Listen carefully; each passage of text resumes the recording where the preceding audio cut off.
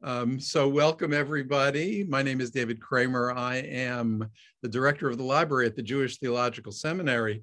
And uh, we do all kinds of programming, but foremost among the programming that we do uh, is the privilege of having book talks like this with authors writing notable books of Jewish interest and in many cases, and certainly in this case, the authors are old friend of ours. Uh, I'll speak personally of mine. I, have known you, Noam, for a very long time, uh, and it, it's really been a privilege to be able to have that contact over the course of the years. Uh, a couple of technical things. First of all, um, I encourage everybody who is now hiding behind their name on a dark screen um, if you're, you know, presentable, uh, if it won't uh, compromise too much, make yourself seen. That way the author can see you. And uh, speaking as someone who does communicate uh, through Zoom a lot, it's a lot nicer to see people who are listening to you than merely to be speaking at the screen. If, of course, you want to stay behind it, that is your privilege. But uh, you've heard my encouragement. Uh, there will also, Gloria Beeler has started sharing her screen.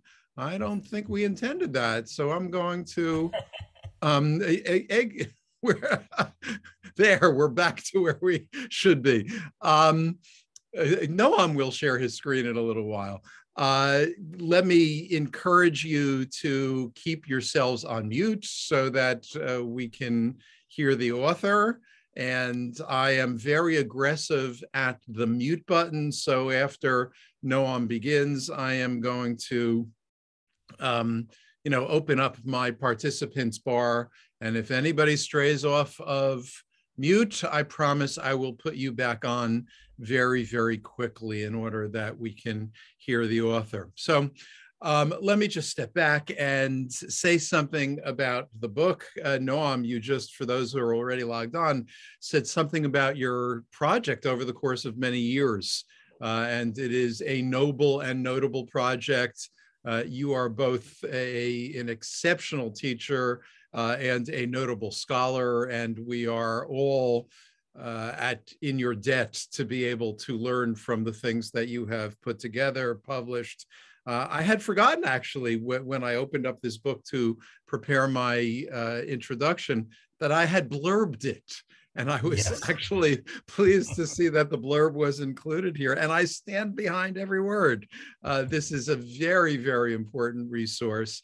Uh, some of you may, who are familiar with the field may have asked yourself, why, after I think it's probably fair to describe the golden age of gender and sexuality studies in the Jewish setting as having been during the 80s into the early 90s. Uh, so you may have wondered why is it time now to readdress this question? Uh, and you will learn the answer to that, but I'll say a couple of words about it. The subtitle of this book, Sanctified Sex, is the 2,000 year Jewish debate on marital intimacy. Uh, one of the things that those of us who have had occasion to read about and study this before will have noticed is that authors, depending upon who they are, uh, will probably have focused more on one side of attention in Jewish sources than on the other. Uh, but that tension is very, very important. There is a genuine debate within Jewish tradition uh, that goes back for 2,000 years, as the subtitle suggests. And uh, it's worth being aware of that debate and how the tension comes to be struggled over and expressed. One side of it celebrates the uh, embodied part of who we are and affirms that part, celebrates the pleasure that our bodies can take uh, in regulated settings. And then the question, of course, arises what kind of regulation is appropriate or not. But at the same time, there is also a side of the tradition that is much more hesitant to celebrate that, much more restrictive, and there is a bona fide tension between them. Uh, what Noam does in this book is to dive deep into both sides of this with sources from the earliest rabbinic sources, to be fair, even from biblical sources, all the way through the most recent rabbinic writings and related Uh, and there is much to discover here. However well educated you are uh, in this question, I promise that you will learn something from Noam's book. Uh, and so let's get a tasting of that, a sample of it. Please uh, keep your questions. Um, you're welcome to put them in chat at any time, and I will uh, gather the questions, and there will be time at the end for those questions to be expressed. But we're a large enough number that uh, it would really not work to have individuals call out their own questions. So I'll keep a record of them and I will read them to Noam after he's finished with his presentation. So Noam Zion, please. Lovely. Okay, let me just expand this for a moment. We'll start with a pretty picture at the very least. I hope it's large enough for everyone. So this is the official uh, cover that they have uh, a beautiful purple, and a picture I'd never seen before by Marc Chagall called The Kiss. And the topic, as you will see, has to do with marital intimacy, both emotional as well as erotic. And therefore, the book is not about some of the questions of the 1980s is Judaism pro sex or anti sex, issues that I certainly uh, learned a great deal from the gender studies. It's not strictly a book about gender, although, of course, gender is, imp- is implicated in everything we do, certainly in marriage. And it's also not a book that addresses very important questions having to do with, uh, with gay marriages and uh, polymor- uh, polymorphy and various notions like that. It's a book which is specifically about, if you will, the how to of having a marital intimacy. And I'm interested in that halachic aspect, that how to aspect, if you will, that Jewish catalog aspect of guidance to how we live our lives and how we make our relationships, whatever the genders of those relationships are, deeper and stronger. And I'm interested both in the halacha of that and the agadah of that.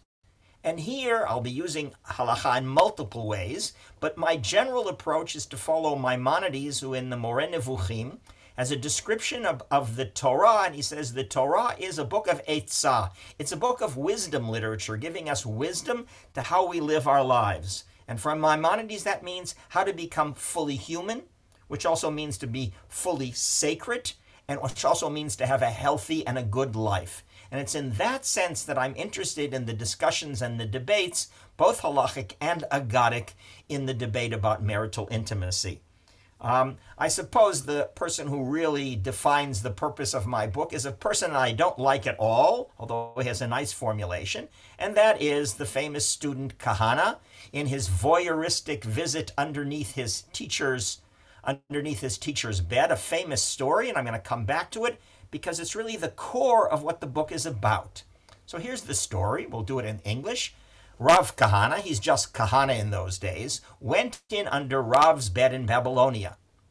In other words, this is a form of bugging the bedroom. He's under the bed, as in the photograph I'm using here, so he actually can only figure out from the sounds and the conversations. He can't actually see what's happening. Kahana went in under Rav's bed. He heard him chatting and jesting. Sach v'sachak, which are alliterative. There's a playfulness and there's a conversational element. So with multiple translations would be chatting and jesting, playing and laughing, or engaging in foreplay. And then in that process, through that conversation and that back and forth, comes gratifying his needs. And in other rabbinic sources, that also involves gratifying her needs. So the physiological and the emotional interactive go together. And then Kahana pipes up. It seems as if the mouth of Abba, which is both the first name of Rav and, of course, also a name of honor towards a teacher. It's not clear whether he's this is a, a audacious using of the first name of his teacher or it's a way of honoring his teacher. Rav replied, Kahana, are you there? Get out, for it is not the way of the world. It's not derech eretz for you to be under there. But Kahana answered, this too is Torah, and to learn I must. So that's clearly my theme. There is in this privacy, and of course, Rav is correct to protect the privacy of his bedroom. If you don't have privacy, you can't have intimacy, you can't have trust, you can't have revealing yourself except in a relationship where you can really count on the, the partner. If there is voyeurism, there's no room for that. And yet, Kahana is very different in his notion of this is Torah and I learn must than, for example, Rabbi Akiva, in which the same phrase is used when Akiva is in the outhouse with his teacher, also seeing how his teacher osed tzrachav, the way he gratifies his physical needs. And Akiva is very happy to learn from his teacher.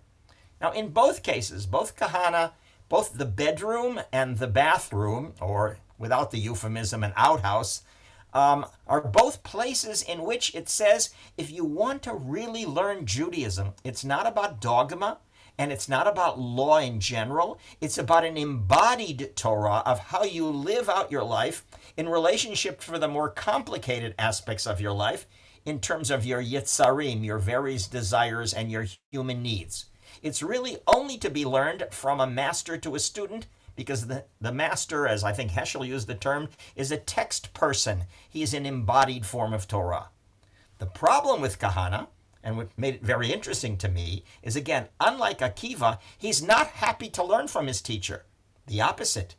He learns that what his teacher's behavior is totally unacceptable. He takes an opposite position to Rav. Rav is interested in the interactive, in the joyful, in the kalut rosh, in the lightness of spirit.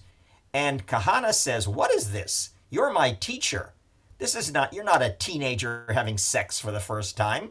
And yet you treat this dish a language which uh, which is close to the kind of very uh, chauvinist language that I used growing up when we talked about a, a beautiful girl as a as a nice dish. Culinary language is very typical in discussing sexual issues within the Talmudic uh, uh language, and he's he does it very negatively. It's as if you never t- tasted a dish before. How can you continue to get sexually excited about a relationship? You're not only a veteran husband, you're also a teacher who's supposed to teach wisdom. Certainly, it's about kibush hayetzer. It's about transcending your physicality, and it's totally improper that you should be showing such desire. And perhaps, depending on other traditions of Kahana, maybe he objects to the whole notion of trying to win and to woo your partner into the relationship on the basis of consent. Now, what this brought me to was the notion of trying to figure out what is the debate that begins here on marital intimacy and emotional intimacy, as you see, and erotic intimacy. How's this debate developed? Now, at this point, nobody's talking about the sacred. That's not the issue. Um, and so if I explain, if I explain why I'm interested in this topic, not for what purpose, the purpose being an embodied ethic of how to and how to improve that interpersonal relationship. But if I ask the question, why did I write the book? From what was its origins? What really led me from my personal experience as an American Jew to write it? Then I think I have to go to Art Green. And so I'm going to take you back to the Jewish Catalog, a book that you may still have on your shelves. And I'm taking you back to my personal history when I arrived at Columbia College and also at the Teachers Institute as a very naive student.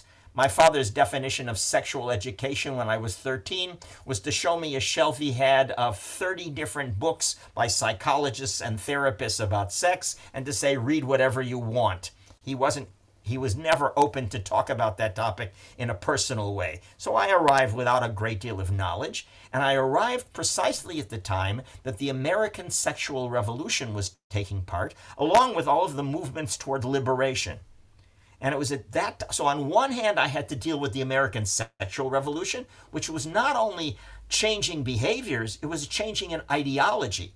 It was an ideology that challenged both Christian notions of, of sexuality, Eastern European halachic notions. It challenged uh, Victorian and bourgeois notions. And we saw ourselves as liberating ourselves by appreciating the natural goodness of what God had created in us. At the same time, I was involved in a second interesting transformation. That was the birth of the Chavurah, the New York Chavurah, the Boston Chavurah, the Jewish Catalog, and a, an attempt of American Jews to go back and reclaim what they could of Eastern European wisdom and mystical wisdom, as well as they were open, of course, to the Far East and to Buddhist wisdom, And they said it's not that we want to imitate the modern world. It's not about how do we make Judaism fit into modern demands. It's how do we discover, since something is deeply corrupt in the American values that brought us Vietnam, that brought the assassination of Martin Luther King, that's how we felt. We had to look back at wisdom literatures which were non modern. And it's in that context, of course, of the Jewish catalog. And the Jewish catalog, as you may remember, is a how to book. Uh, it all is, in that sense, a halachic book. It's about how do you make challah and how do you build a sukkah. And of course, one of the topics that they asked Art Green to write about was to write about sexuality and sexual ethics in the modern period. And here Art Green made, made an argument that really has pushed me into writing my book. He says, the Jewish catalog is a reflection of neo traditional Jewish lifestyle that is evolving among certain young in spirit American Jews in Chavurot alternative communities. While these circles have tended toward traditionalism, but we are postmodern rather than pre modern Jews. Our lifestyle is hardly to be considered halachic. It is in the areas of sexual relations and the place of women that this discrepancy between fully halachic traditionalism and neo traditionalism of these new Jews is most clearly seen. And he went on to say, We have nothing to learn from the halachic tradition or the agadic tradition of the past. We need a new halacha and we need a new Kabbalah in order to in order to build a new sexual ethics and a new sexual ethos for the Jewish people. Um, but at the same time as he was rejecting that was anything to learn from rabbinic tradition, he also had the problem of that whole generation, and we see it among all of the rabbi, the liberal rabbis of that period, from conservative to Jewish renewal. They were also very uncomfortable with the American sexual revolution from another side. And here I'm going to go specifically, continue with Art Green. Art, we Jews should stand opposed to the current moves toward the demystification of sexuality which seek to define coupling as a purely biological function.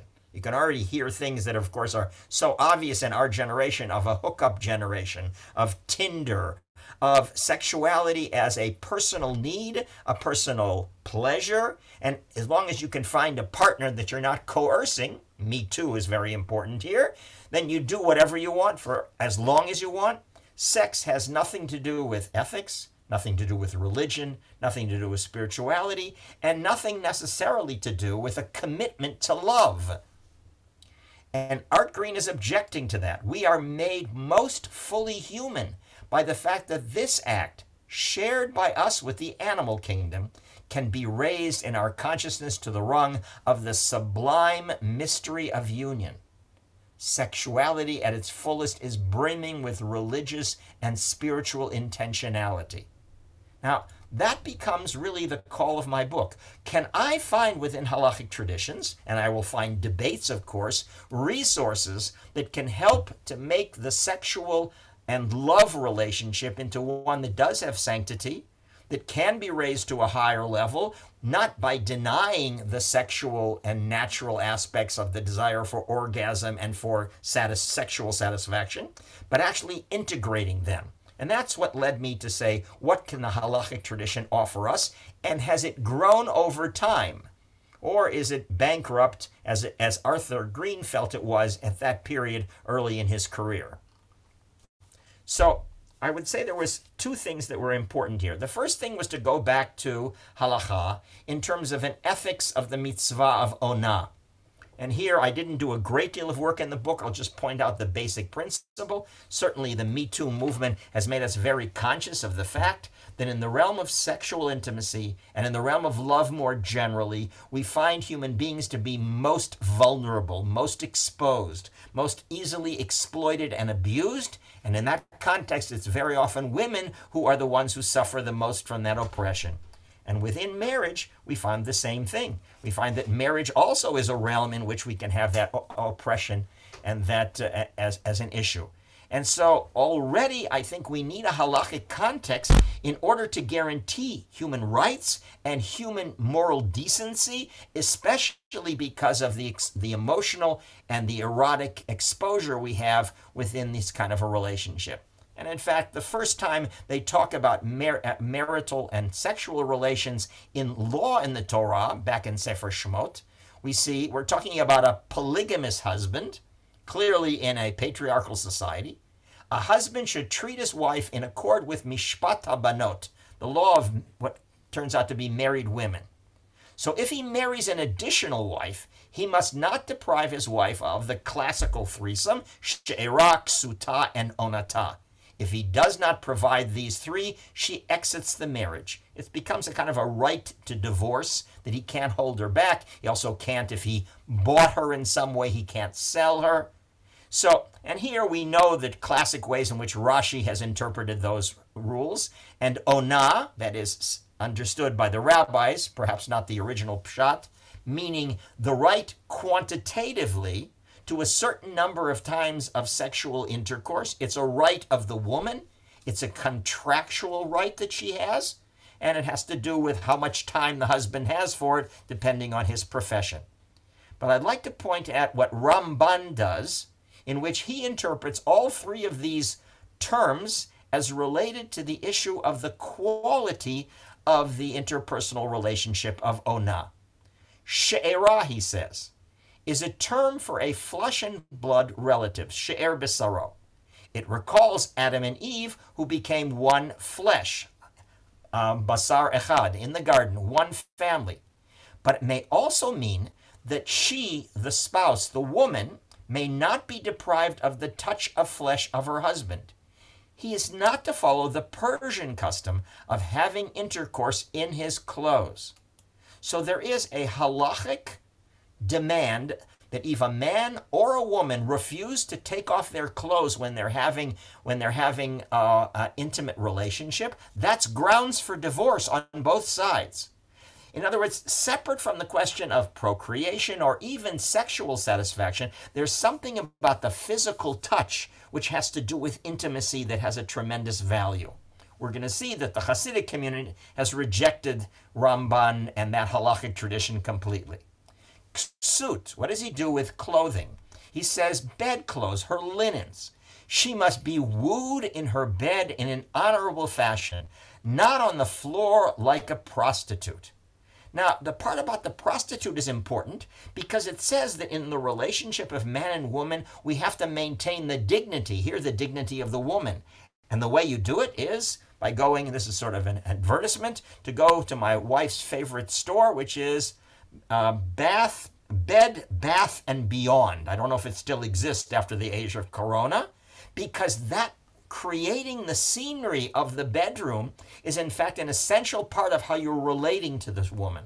Plus the notion that the woman has to be wooed. Maimonides makes this explicit in the notion that there can't be any coercion in marriage that you can't say because we got married, because I have my sexual rights and you have, therefore I have the right to force you to have sex. No, you have to treat each engagement sexually with your partner in which it has to go back to the question of appeasing, arousing desire, and gaining consent.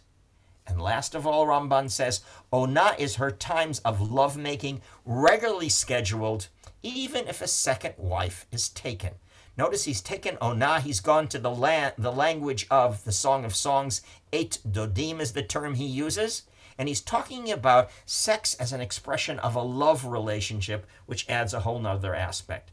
So it seems to me that one of the directions the rabbis go as sexual ethics is to talk about sort of an aspiration and a minimal demand on having a relationship of dignity, of interpersonal love, and of a physical intimacy, independent even from sexual intimacy.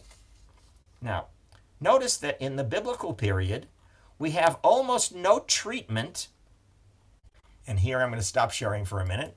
We have almost no treatment of marriage as a matter of kedusha.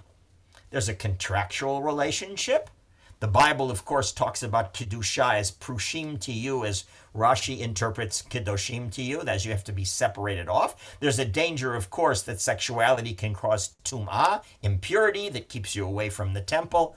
There's, of course, the problem of adultery, that if you violate your commitment, if your wife who's married violates her commitment and commits adultery, then that's a violation of sanctity as well. And there's a higher spiritual goal of sanctity in which you separate off from uh, from things that are related to the knanim, incest and adultery, being related to the ways of avodah zarah, of idolatry. So when sanctity is dis- discussed in terms of the sacred, it's for the most part discussed in terms of how we have to separate it's not discussed in terms of how the coming together of the couple is an act of sacred unity. And in that, from that learning of that history, going back, among others, to the scholar Moshe David Herr on the rabbinic tradition, he says Kiddushin is called Kiddushin, but it has nothing to do with making the union of the couple sacred. So, as opposed to things that I found from Rav Soloveitchik in modern Orthodoxy through every single uh, liberal American rabbi who talks about the kiddushin, the term we use for engagement, as a sign that this marriage has to be a sacred relationship. All of them, in that sense, agreeing with Art Green and opposing a American sexual revolution that reduces sexuality merely to something physiological and natural desires.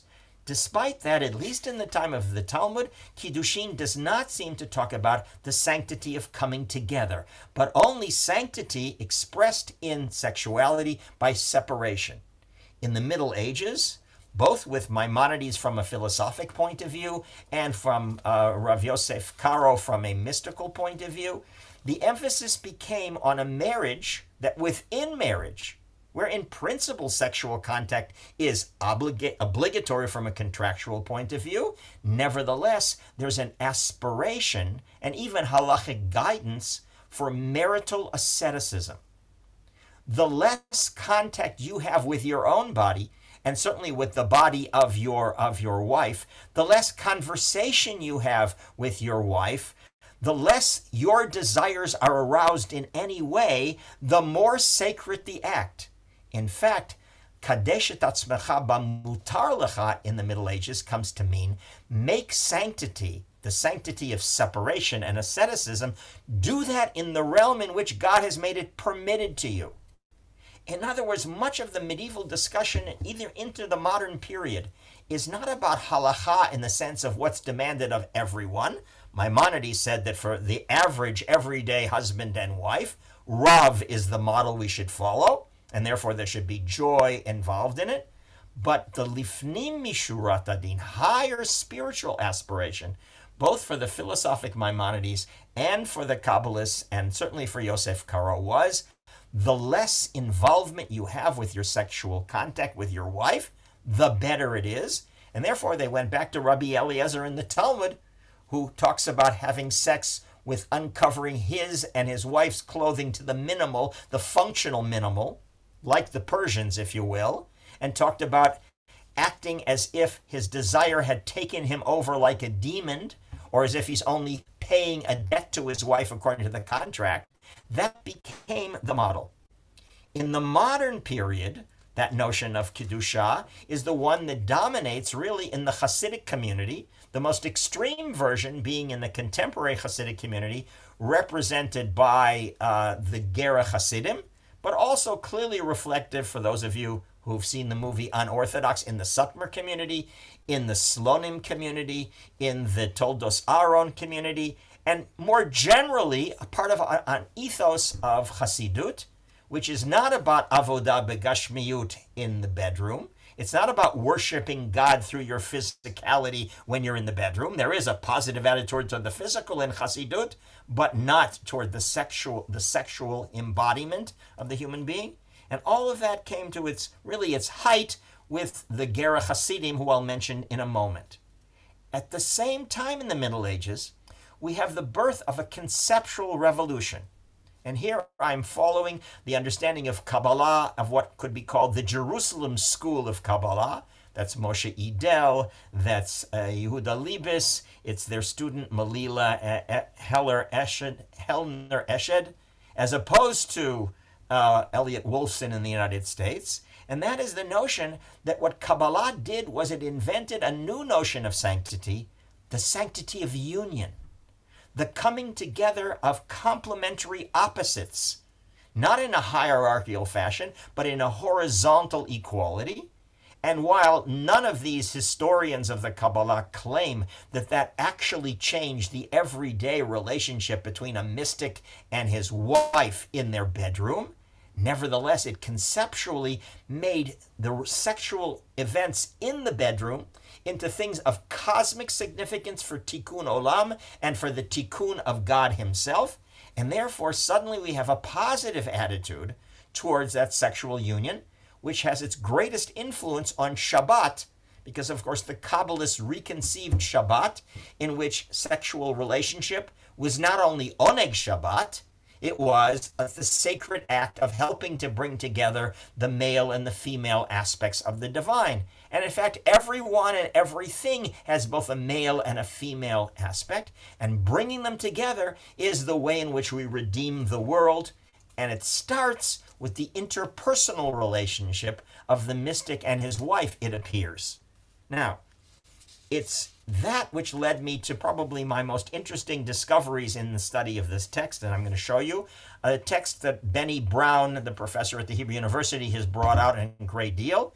And we're going to look at one of the most anti feminist, anti modern, anti democratic people I can think of, the Chazon Ish. All right? So the Chazon Ish, uh, he could have written the book Men Are From Mars and Women Are From Venus. That is the notion that men and women are fundamentally different in their personalities, in their sexual needs, in their relationships overall. And yet, the Chazon Ish, responding, it seems, to the Ger Hasidim, who issued very, very strong restrictions for their whole community on marital intimacy, he went the opposite direction.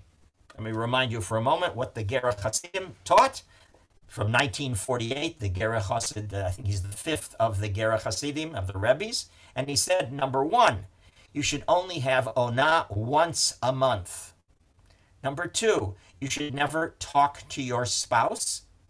Just give instructions. Never call each other by your first name. Have sex only with clothing on and helps to have tzitzit on as quickly as possible, as if you're coerced by a demon. Rabbi Eliezer is the standard here. And it affects not only the bedroom, it affects their total relationship. Because husband and wife should never walk together. They should never be in an elevator together. They should never sit together on a in, in the back of a taxi or next to each other on an airplane. In other words, the notion of restricting sexuality became a restriction on every aspect and therefore the emotional intimacy of marriage was totally destroyed in a very consistent way, not only for Hasidic rabbis who'd often been ascetic, but for every single member of the Hasidic community. Again, not because it's the halacha. The Hasid is not interested in halacha. He has an aspiration to higher spirituality, higher asceticism, and therefore Dafka in the one realm in which there's no prohibition on male and female sexual contact, that's the place where the true chassid has to show his colors and achieve his great conquest of Yetzer, of his desire, and that's where sanctity is. So the bedroom for the Gerrer Hasidim became the most important arena for the redemption of the world through the, the husband's relationship to his sexuality and the woman, her job was simply to be instrumental in helping her husband to achieve this higher level of spirituality through asceticism. Now, it's against that Hasidic view that the head of the Litvak movement, the Chazon Ish, who is known for being super strict in halacha, very strict about gender segregation within the ultra Orthodox world, totally a man who was opposed to any university education, not a feminist, not an egalitarian, not a person who had a positive attitude toward the body in general, and certainly an anti Zionist. And yet, he sent out a little letter somewhere around 1950, never even officially published, And this is how he totally transforms the rhetoric and the ideal of what marital intimacy is about. And so let me show you this. Okay? The first thing he does is he says, it's an obligation to devote a year to make his wife happy, as it says. כי ייקח איש אישה חדשה, לא יצא בצבא, ולא יעבור עליו לכל דבר, נקי יהיה לביתו שנה אחת, ושימח את אשתו אשר לקח. So he says there's a mitzvah in the Torah that doesn't allow us, if we want to, to forego sexual and emotional intimacy. No, we have a mitzvah deoraita that tells us we have to make our wives happy for a whole year. Notice, it may be that in the literal meaning in the Torah, happy means sexual, as it often does in that context of marriage. Instead, here he clearly understands it to be emotional happiness. And then he becomes a psychologist. And here's a picture of the Chazon Ish. And he says, It is her nature. You can see he has a notion that men and women have different essential nat- natures, if you will, Mars and Venus. It is her nature to find joy in the way she finds favor in her husband's eyes. It's not so much the wife as the enabler, but it is the wife who cares very much about what her husband thinks about her. Her her interpersonal as as is often a typical cliche in in uh, in the West today, that women are concerned with relationships and men are concerned with sex. I'm not interested in whether that's true, whether it's essentially true, but for him it is. Her eyes are directed to him expectantly. Therefore, he must make an effort to show her love and closeness in words of conversation and appeasement. We have the conversation mode, which we had with Rav, but it's expanded from the bedroom into the overall relationship between the two of them. For a whole year, he should do nothing but make her happy through conversation. And through conversation is not at all a simple notion for a Haredi. Why? Because actually, we have Pirkei Avot, which the rabbis turned into a mitzvah de rabbanan, a rabbinic law, that says you're not supposed to talk to your wife a lot. You're not supposed to have long conversations with your spouse. So what does he do? He says he should tell his wife whenever he leaves the house where he is going. And upon his return, tell her what he has done. And other little things and words of reinforcement to make her heart happy. So his notion is that small talk, right? Because, of course, you can't have them sharing what he taught in Talmud. They live in different worlds, but they can at least be in touch with each other, always know where am I going. Thus, one is exempt from the rabbinic prohibition against having too much conversation with one's wife whenever she is in need of appeasement during the first year. And students of the of the Chazon Ish said that in our generation, because we're such a corrupted generation, it may take two years, it may take five years, it might take ten years. In other words, the whole pattern of interpersonal relationships, of emotional intimacy, is radically changed and he condemns the Hasidim who think that they have the right to encourage women and men to forego this conversation because they're achieving a higher spirituality. He says, What are you talking about? We have a halacha here. Now, there's almost no one who ever treated the uh, exemption from the uh, from the army in the Torah and the need to keep your wife happy for a year that turned it into a halachic text that becomes a, becomes useful and used every day. So let me keep going. In the first year, one must make an effort to achieve unity, which is the Creator's intention, as it says, to become one flesh, for the Shekhinah to dwell between them. So here he's offering an agadah to reinforce his halacha. And the agadah is that God God and in creation wanted man and woman to become one flesh, and that would be bringing the, the Shekhinah into this world between them. So there's a spiritual goal, there's sanctity that you're creating in the world in your interpersonal love relationship. And then he says something quite interesting. Sometimes treating one's spouse with respect and dignity, with the awe of politeness, displays lack of intimacy. There is something about when you enter into that interpersonal realm in which you have to leave behind the distance, even if it's the distance of politeness. One must relate with a greater intimacy than can be accommodated in a relationship of respectful honor. Levity and lightheadedness, kalut rosh, again, we're back to Rav in his bed, are more lovable than serious and awesome honor. One must make every effort to behave in a more intimate way, to draw her closer with one's right hand rather than pushing her away with one's left. One should address her in familiar singular you, not the formal plural characteristic of polite speech in Yiddish. Right? Now, this is a some short letter. You know, it's about a couple of paragraphs. It's not a major campaign to transform marriage, and yet some of the students of the Chazon Ish and of his brother-in-law uh, Yaakov Kanievsky and others, they began in the late 90s and 2000s to write a whole series of best-selling books for yeshiva students in the Litvak world to talk about the way in which marriage and emotional as well as sexual and erotic uh, coming together becomes a major sacred task. I will give you one example of it because you can see how he's taken the notion of small talk between husband and wife to make them happy and turned it into basically what a way to achieve full humanity as God intended. The Torah established that the only way for a person to be complete, notion that already appears in rabbinic midrash, that man and woman only become fully ha'adam when they're zachar unekeva, when they become one, and not a mere half, is to be united as man and a woman in marriage. So their whole lives lived in mutuality, each must learn about the other half.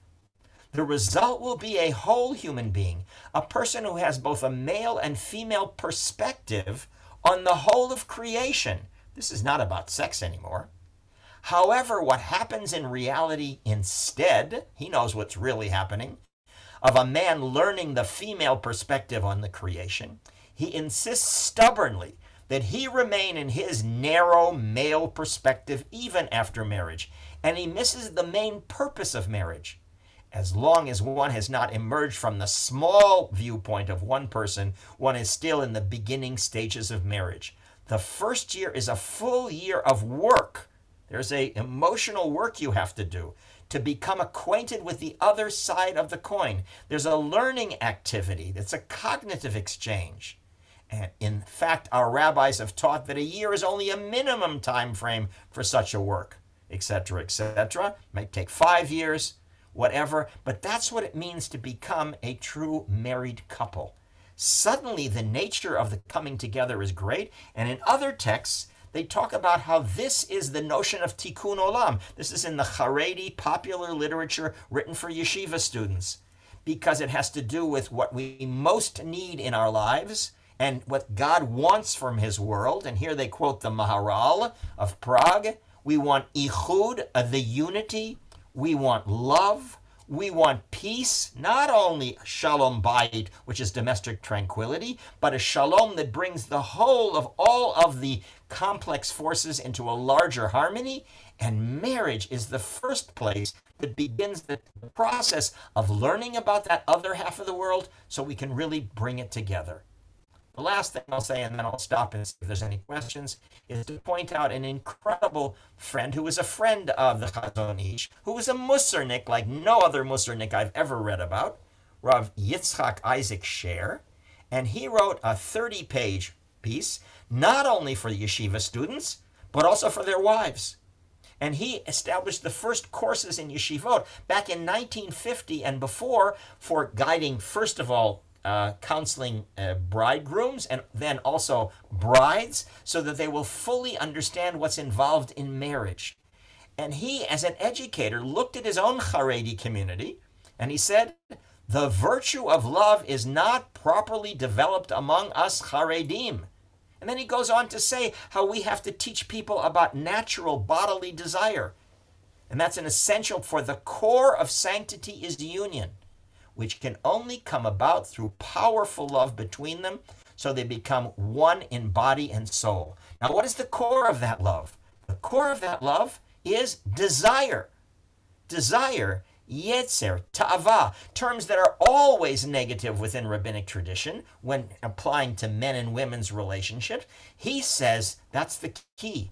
The whole problem is that these Haredim, he says, think that desire is impure, when in fact, the Jewish people, Kiddushat Yisrael, is able to transfer desire into sanctity. And here he quotes the Igeret HaKodesh from the 13th century that makes that argument against Maimonides.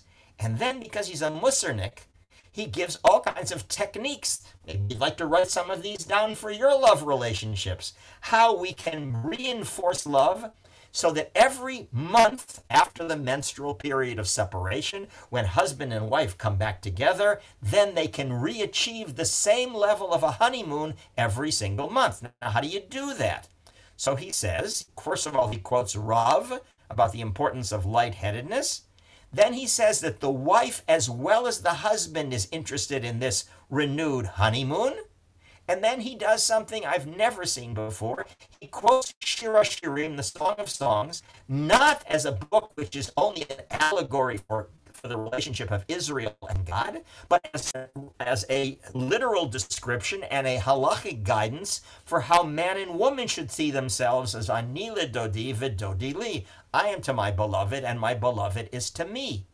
And then he says you should keep a little pinkas, a little notebook from your wedding celebration, from the Sheva Brachot, with all of the words of love and compliments that they spoke to one another, and they should reread them every month to return to that status. And he suggests the use of guided imagery therapy during intercourse, both for the man and for the woman, to imagine themselves back in the Garden of Eden. And he says then the woman is filled with love and pleasure arising from sanctity and spiritual elevation, so that when she reaches the apex of the act of intercourse, she is fully intoxicated, hovering in the world of imagination. Then she sees pleasant dreams illustrated with beautiful images.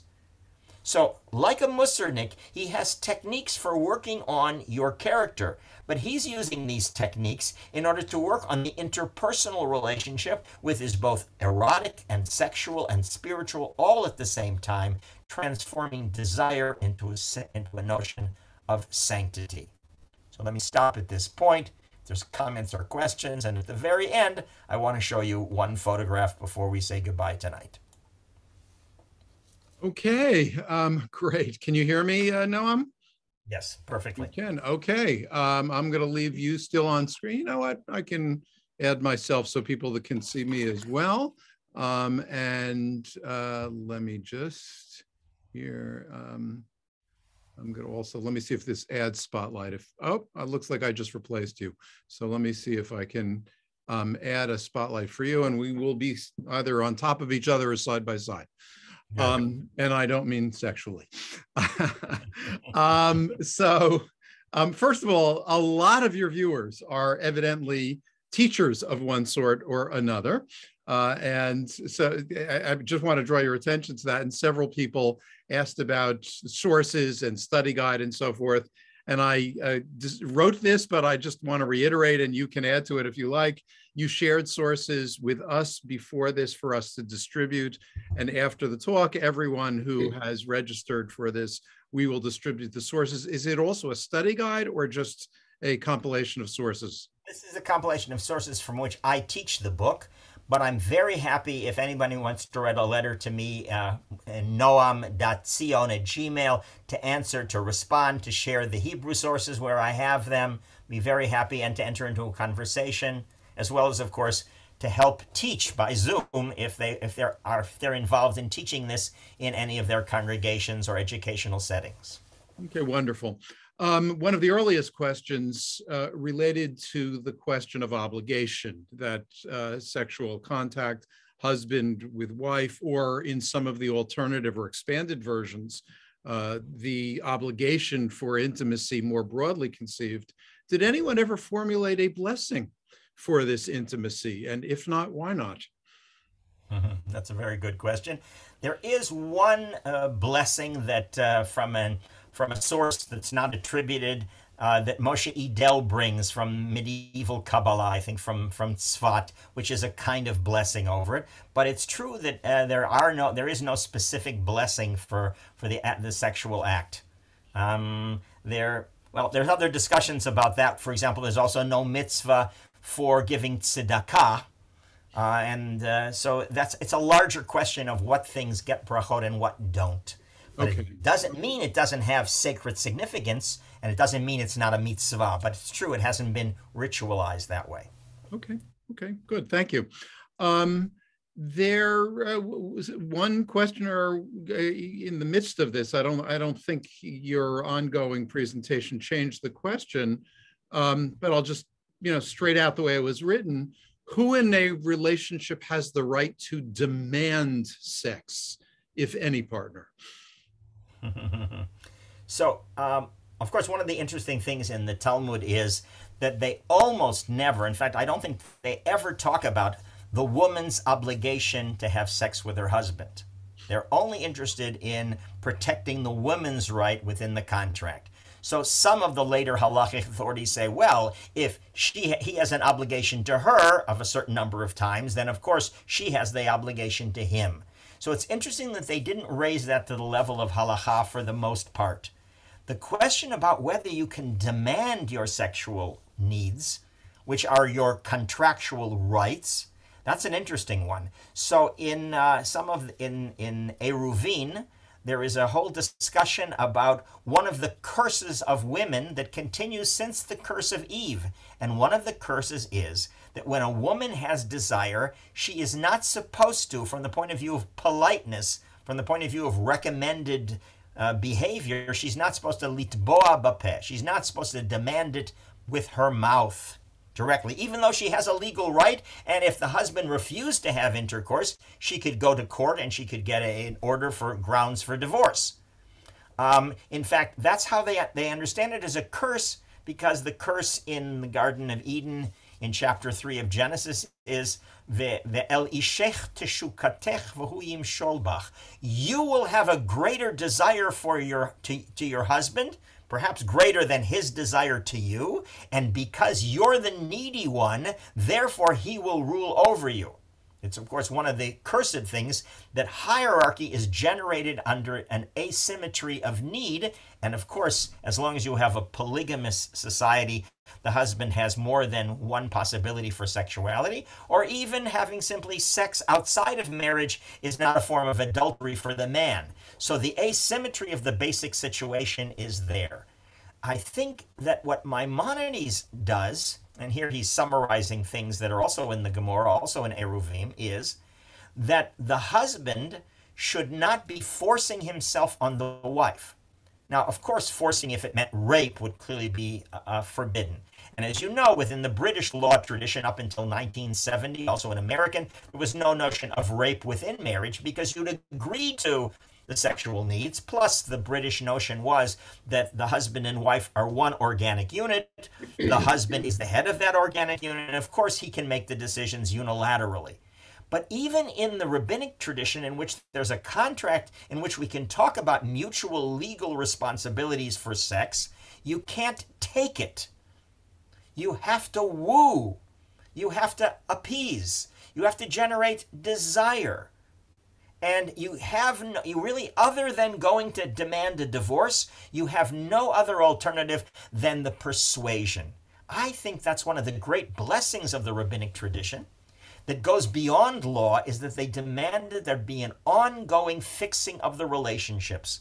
So in the Middle Ages, when they began to take the advice in Pirkei Avot seriously about not talking too much to a woman, even to your wife, then they say, but if their relationships are a little rocky and she's angry at you, then you have a right to talk to her. In other words, there's a concern for shalom bayit as the baseline for having intimate intercourse, and therefore the rabbis defined force as any as as any for as not just physical force but any kind of coercion which is not based on the woman's desire her willingness her active willingness then that's already forbidden And what about the category of the moreret, the rebellious wife, which includes the wife who refuses to have sexual relations? Um, well, you have that, and you also have the category of mored, a husband who also refuses to have mm-hmm. that. That's of course the extreme case because that's the nature, as you know very well. You're the editor of the book on the Jewish family. That uh, that when you go to law, when you go to court, when you go to coercion, the legal coercion, you're dealing with the most extreme cases. Mm-hmm. This book is much more concerned about the realm in which it's not enforced.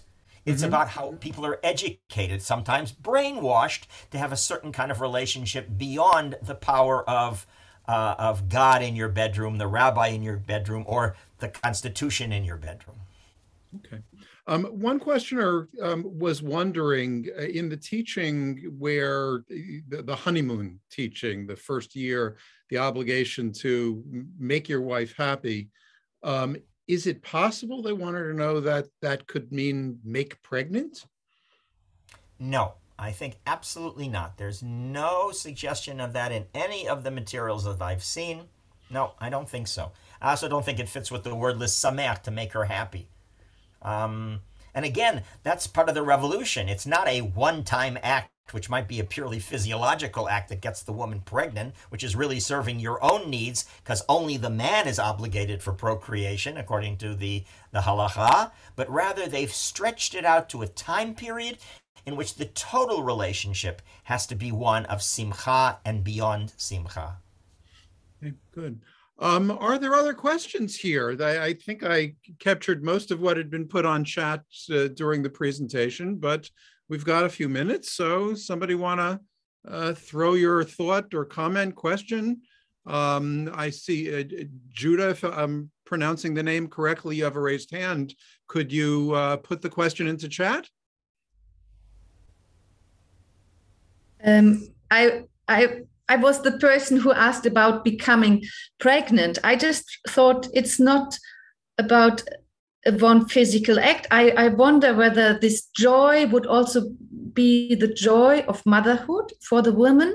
I mean, in a more broad mm. sense. I mean, to make sure that she um, before the her husband departs after one year to the military service and might never come back and she might never be able to become a mother uh, uh, afterwards. I mean to to connect sexuality not only with intimacy but also with motherhood or that, fatherhood. that's a, that's a beautiful interpretation.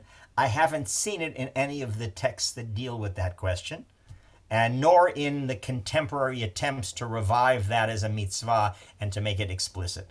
So that I, but also a wonderful notion. And it is true that Rav Soloveitchik in his work talks about the import, uh, what, what having a child adds to the quality of the marital relationship.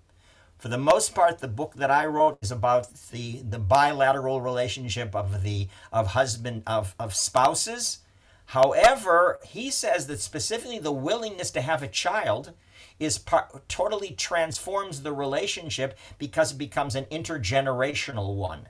And that's certainly something to explore, going beyond the I thou to the I thou and the child, and how that that generative notion of love transforms, hopefully in a positive way, the relationship. Great. And while you were, uh, th thank you for that, uh, for clarifying that question. Really wonderful interpretation. Um, and I'm going to make this the last question, Noam, because I actually have to prepare for um, a presentation I'm giving over Zoom in a half hour. Um, okay. so, um, so somebody wants to know about the relationship of these attitudes and the changes in Jewish attitudes through the years and in different places to attitudes regarding sexuality in the broader cultures in which Jews live. To what degree was there influence and reflection there? Uh, and um, you know, was there a distinctive distinction be between Ashkenazi and Sephardi as well? Although the broader question would apply there, I think it's fair to say at the same time. Um, so, yeah, go ahead. Great. It's a great question. I let me only respond to the part that I know about because for a lot of things I don't know. For example, the Sfaradi and the Ashkenazi. But I will point out something. Look, I'm not trying to idealize the Haredi Litvak community. It's a, I mean, the major emphasis in terms of attitudes towards sexuality is the separation of of uh, of boys and girls from the age of two. The concern that two-year-old children in kinder in in nursery schools, when they take a nap, they always lie on their back um, uh, and never on their front, and that they always keep their hands above the cover so there won't be any kind of sexual stimulation. This is a culture which is eh, which is totally obsessive about the danger of desire. It's one of the amazing things and perhaps impossible things of the Litvak ideal that how you've never had a conversation with somebody from the other sex. You have no idea how your physiology, let alone the sexual physiology of your partner works. And suddenly you enter into marriage and you're supposed to have these conversations and develop an emotional and an erotic intimacy. That's an incredibly different task, difficult task. And I'm not at all sure that they're successful in that role, but they have changed the language of the spiritual ideal to make trying to make that work into an ideal. I think in the Amer- in uh, in the American context, of course, a lot of work has been done uh, on talking about sanctity. I think probably the most interesting work is the work done by Rachel Adler in her book in which not only not only does she try to address what she considers patriarchal aspects of uh, of Judaism, of rabbinic Judaism, but she tries to create a new halacha. She's not anti-halacha. A new halacha, a halacha based on partnership, taking the terms used in the Geniza fragments from a thousand years ago, in which husband and wife are referred to as shutafi, my partner, having instead of a ring ceremony to have a little bag, a kitty, in which each one puts something into the bag, something physical, and that's part of their shared partnership. But she also is working on the realm of Agadah. Because I think, again, it's not enough to change the law if you don't change the whole rationale. And she goes back not only to the Garden of Eden and to the Sheva Brachot that speaks of Re'im Ahuvim, loving friends. She goes back to the Song of the Songs as Isaac Sher does. And she says, here we have a notion of sexual, of eros, of desire, of playfulness, often expressed in a woman's voice. And we need to bring that into the partnership. And that's the agadah that goes along with the halacha. Wonderful. Uh, I this is only uh, the beginning of a conversation.